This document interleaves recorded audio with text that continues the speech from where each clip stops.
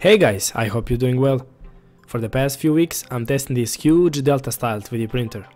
This is a Tevo Little Monster and I gotta say it's a very nice machine, but after this video this Delta will transform from nice to impressive machine. Before I make my final review of it, I decided to make this video to help the owners and the people who is interested into this printer how to achieve much better print quality and get rid of salmon skin artifact using TL smoothers and golden ratio layer height. So let's begin. Now this is some of my test prints, printed in the golden ratio layer height, and indeed these all look very impressive. But if you look carefully on the printing surface, especially on the back of the owl, you will see that salmon skin artifact is very present, which is mostly Delta Star 3D printed affected. Some more and some less. Now that salmon skin artifact is actually signal noise coming from the stepper drivers which make stepper motors not to turn smoothly and that tension and vibration is then transferred to the print surface. You can even feel that vibration especially if you print something with a low speed simply by placing your hand on the arms of the printer. Now for the manage that noisy signal for the stepper drivers without changing any parts of the machine, you have to do two things. First, install TL smoothers, two on every stepper motor to be exact, and the second, use golden ratio layer height when printing. But first, what is the TL smoother?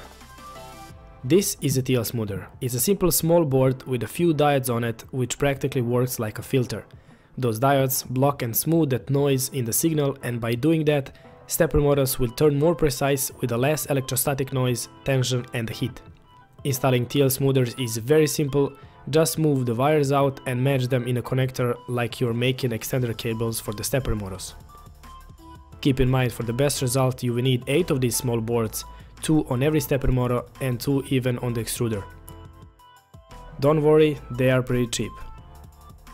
When you match all the wires, don't forget to put transparent heat shrink over the boards to protect them. Then just connect two TL smoothers on every stepper motor like this.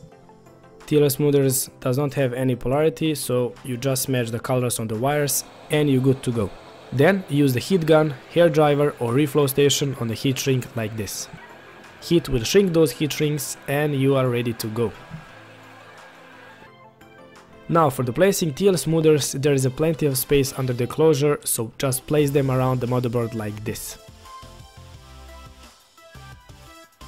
Now these diodes like to warm up a bit so cut the cable from the cooling fan from the board and connect the fan to the main 24 volt input. This will make the cooling fan work all the time when the printing is on.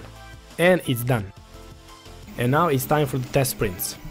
I tested quite a few objects in a different layer heights with and without the TL smoothers and here are the results.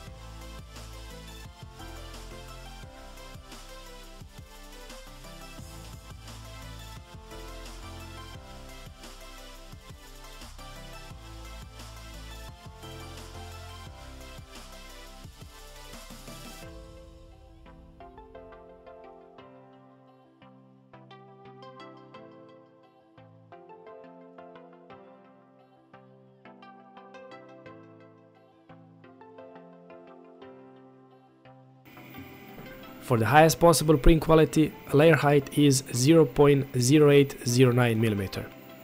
Printing in this resolution using the TL smoothers, layers are almost invisible. For lower quality print, layer height is 0.3236 mm and for the high print quality, layer height is 0.1618 mm. So those three layer height are the golden ratio layer heights for the Tevo Little Monster, so now we know.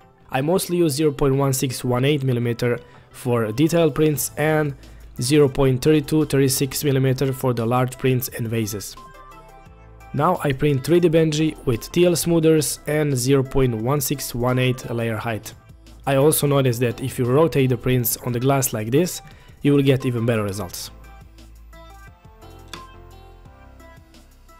And now look at these results. Nice. Now this is a great quality. Salmon skin, it's almost no visible, surface is smooth.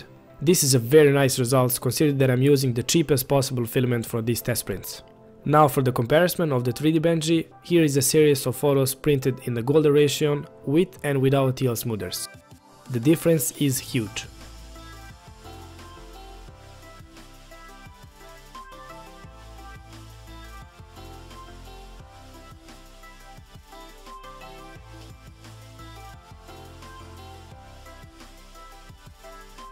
And now for the final comparison, I decided to print this amazing 3D model called Sorceress Loubie 3D.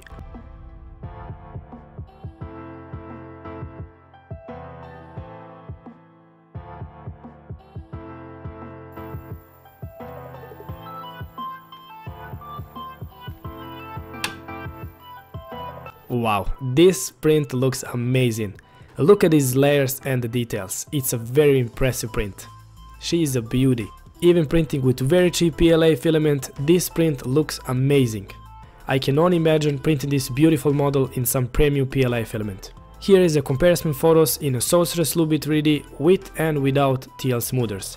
I use the same print settings, same temperature, print speed and etc. Now look at the difference in the print quality. It's huge.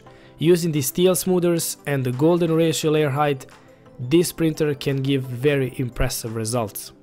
I take quite a few comparing photos from every angle to give you guys a perspective of how huge difference is and what kind of quality you can expect from this setup and if you decide to install the TL smoothers and use the gold ratio layer height when printing on Tevo Little Monster. Now these TL smoothers may work or may not work on other stepper drivers as well, but I cannot guarantee it on exactly which model, maybe someone in the comments will leave that information. Price for these TL smoothers is a 9 US dollars for the 4 pieces and you're gonna need 8 total pieces for this setup, so that's $18 investment for this kind of print quality. Definitely worth it. Personally, I think these TL smoothers should be included in the package by default. They are cheap, easy to install and they are giving Little Monster quality that deserves. And this 3 golden ratio layer height should be added in a print manual too. Well guys, that was it. I hope that you like my video about the quality improvements on the Tevo Little Monster. If so, give this video a thumbs up, subscribe if you like and check my other videos about the 3D printers upgrades and the reviews.